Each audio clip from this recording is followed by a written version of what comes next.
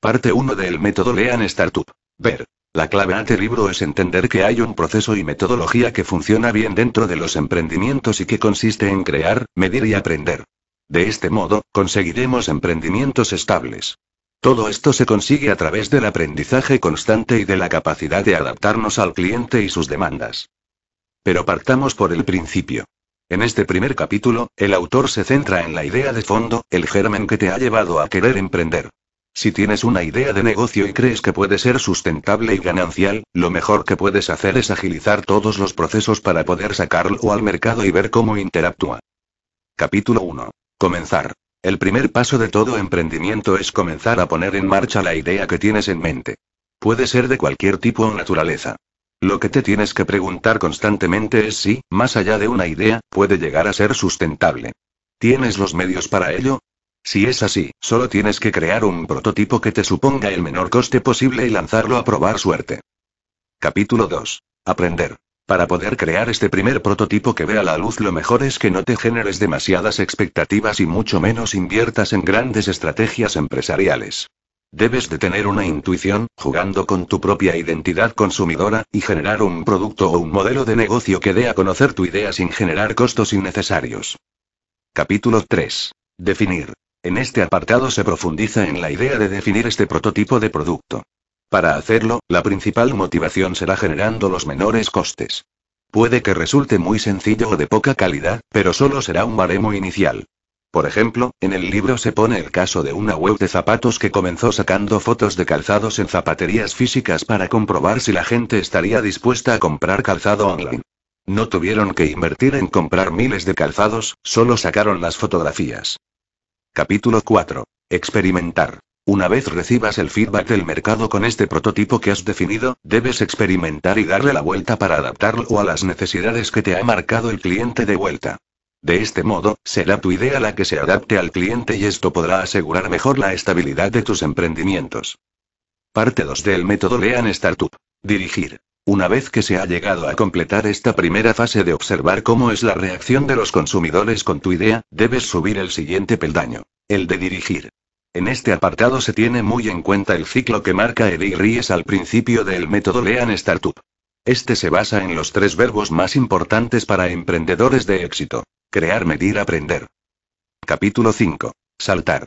El primer paso que se debe dar, una vez se haya podido experimentar sobre la hipótesis de la idea que quieres ofrecer, es saltar de nuevo al mercado con los conceptos ya definidos. Realmente, en la fase de ver, hiciste una valoración de los bienes y servicios que ofrecemos. En esta segunda fase ya has creado algo más consolidado y lo vuelves a exponer al mercado. Capítulo 6. Probar. Una vez que lo hayamos lanzado al mercado, debemos probar en diferentes tipos de ambientes y con varias estrategias diferentes. Una de las bases que nos da el autor del método Lean Startup es, precisamente, intentar probar pequeñas estrategias con la mentalidad de ensayo-error. Capítulo 7. Medir. Una vez haya transcurrido el tiempo que te habías marcado, el siguiente paso es poder medir cómo han sido los resultados. Esta medición puede ser en función a la estrategia que hayas seguido. Pueden ser costes, ganancias, visualización, interacción con el producto, etc. Capítulo 8. Pivotar o perseverar. Con todos los resultados medidos y expuestos sobre la mesa, el siguiente paso es fundamental. Hay que valorar si se debe cambiar algo o si lo que has realizado está funcionando. Si, por ejemplo, has abierto un hotel para animales y compruebas que solo han llegado perros, deberás pivotar el negocio y especializarte en un hotel canino. Si por el contrario llegan todo tipo de animales de forma continua, deberás seguir por este camino e ir perfeccionándolo.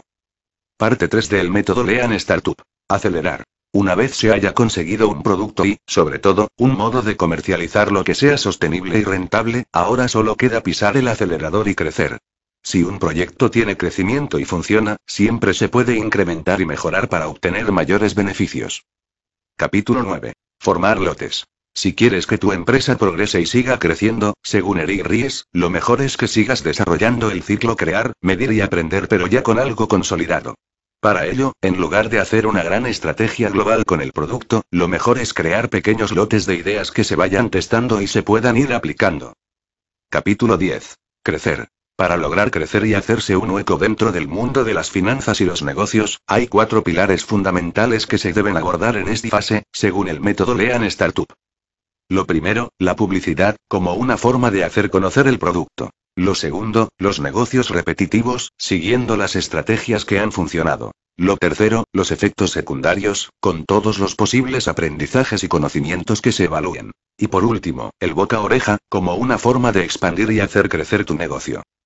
Capítulo 11. Adaptar. A pesar de que hayas conseguido que tu idea haya funcionado en el consumidor, siempre se debe tener una mentalidad flexible y de cambio.